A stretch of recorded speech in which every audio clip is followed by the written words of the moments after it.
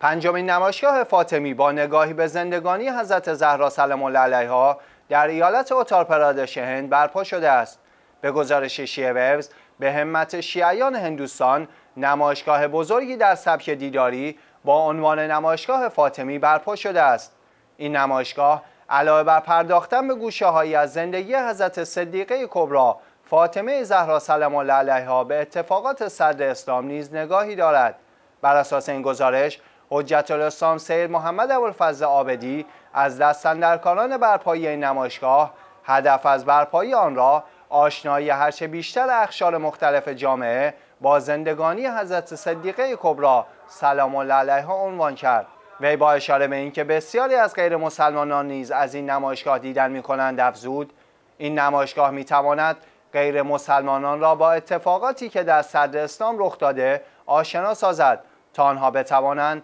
تفاوت حق و باطل را تشخیص داده و اسلام حقیقی را بشناسند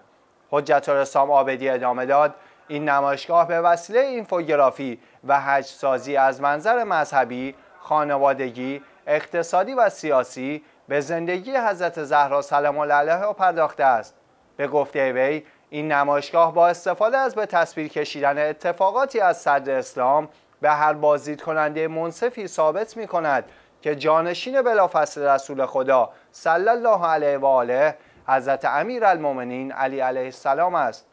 حجت الاسلام المسلمین شیخ مصطفی ادیب الهندی نماینده مرجعیت شیعه آیت الله العظما سید صادق شیرازی مدظله نیز از این نمایشگاه بازدید نمود